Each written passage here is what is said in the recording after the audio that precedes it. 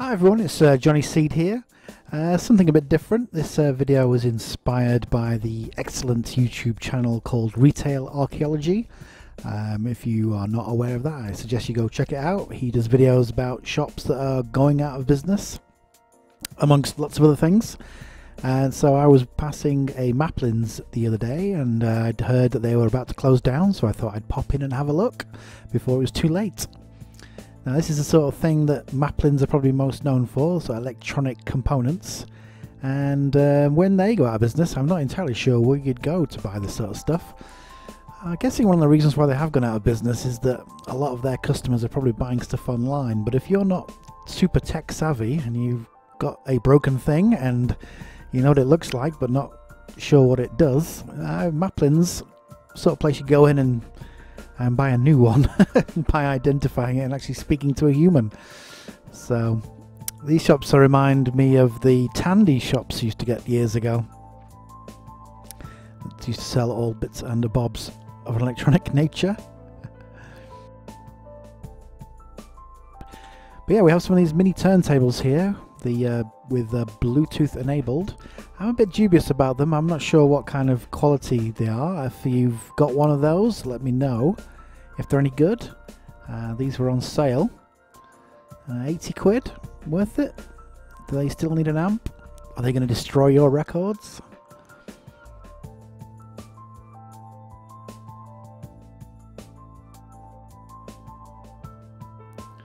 So I think part of the problem that Maplins have was just some of their prices, uh, especially when you look here at this consumable media.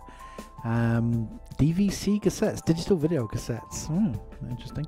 Oh yeah, the, when was the last time any of us burned a DVD? So stacked there of 25 blank DVDs for 12 pound. I had a quick look online. You can buy the same ones for six pound elsewhere.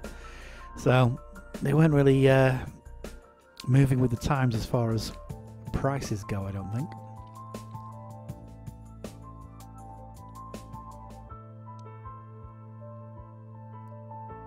Only a couple of drones. The prices, though. A Parrot Bebop, 600 quid. And the Phantom. I didn't realise how expensive they were. Thousand pounds for a Phantom.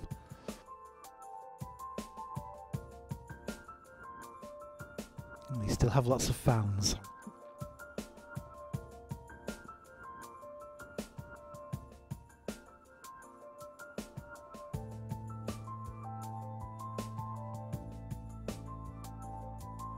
And cables galore. I think this is probably the only things I've bought from Maplins in the last 10 years or so has been audio connectors and uh, cables etc.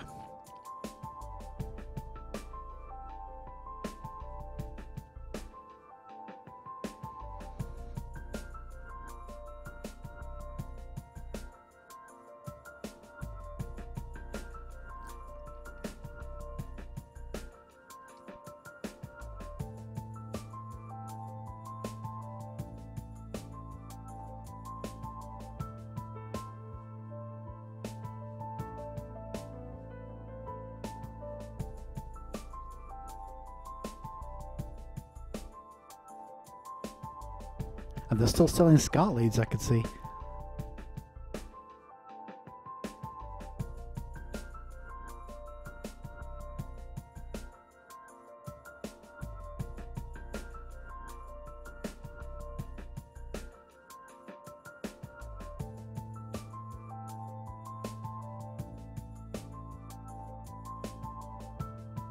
And there was a few empty shelves already.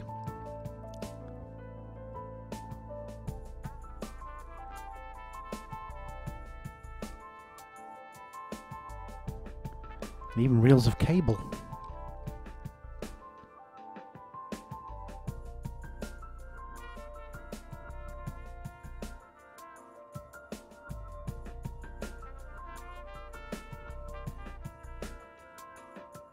So down there, walkie-talkie.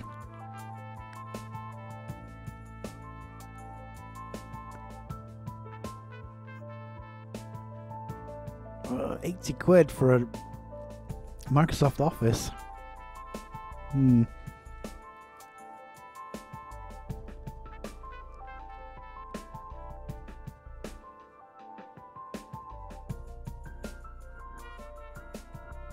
Oh yeah, this is the sort of electronic stuff that you'd probably be struggling to find elsewhere nowadays. Different sorts of wires.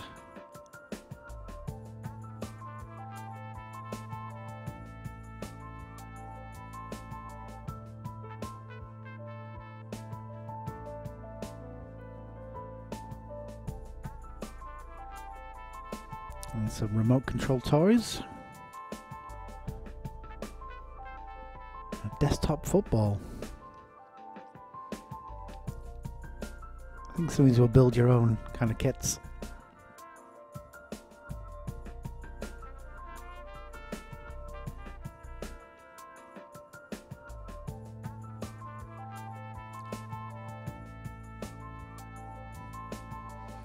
A mini telescope.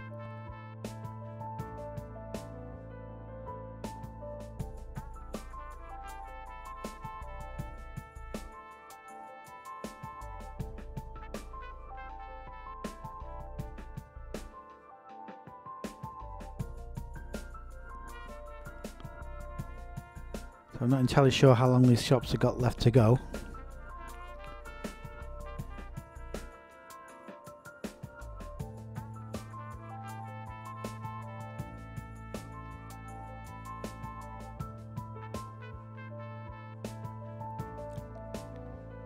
You can get yourself a disco ball.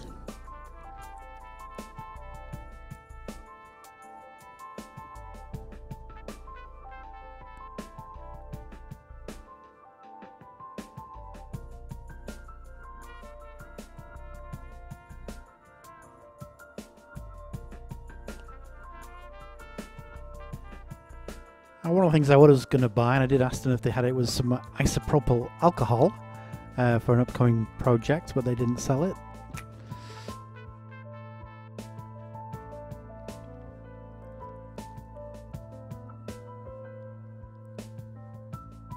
Yeah, I could do some new headphones as well.